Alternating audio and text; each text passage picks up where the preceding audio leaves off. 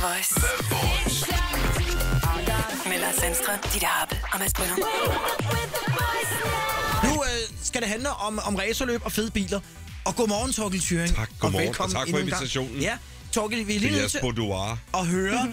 Du har jo en branddyr Mercedes holdende ude i gaden. Er du online i den? Nu hørte vi jo lige, at alle ville være online, uanset hvor de var henne. Kan du gå på Altså nettet her i til morgen har jeg været online med jer Ja. på vejen herind.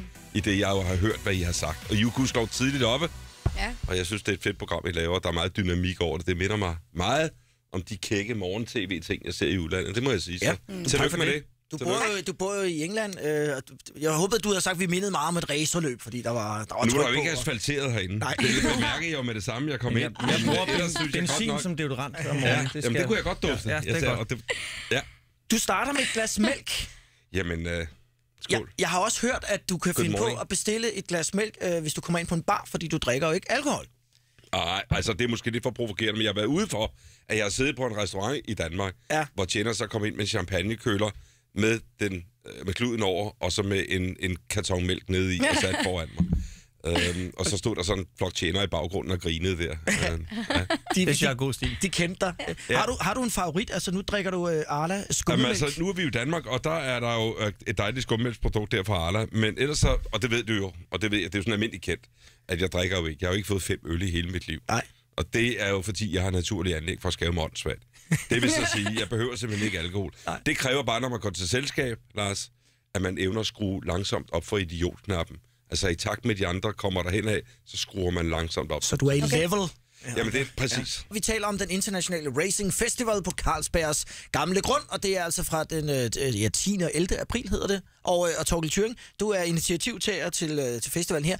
Hvordan øh, vil du sælge Copenhagen Racing Festival til en pige som mig, som måske ikke er sådan helt begejstret for biler, eller i hvert fald ikke... Du kan simpelthen ikke lide biler. Jo, jeg kan godt, men det er jo ikke sådan, jeg tænker, det skal Hvis jeg nu siger til dig, at det der kommer, og det vi er heldige med at få til København, det er, hvis vi skruer det over i dit, kan man sige, måske, måske din verden, så er det ligesom, hvis du fik Balmain, mm. Yves Saint Laurent, Christian Dior, til at komme herop med forårskollektionerne.